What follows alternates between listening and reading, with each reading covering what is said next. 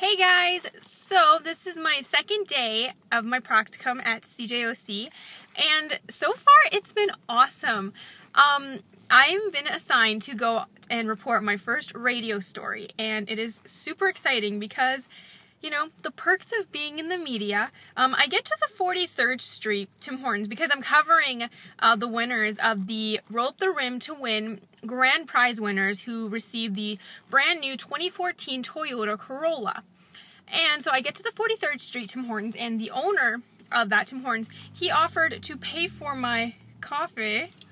And one more thing, um, not only did the regional marketing manager give me a $5 gift card from Tim Hortons, but she gave, she told me to give everyone at CJOC also a $5 gift card from Tim Hortons.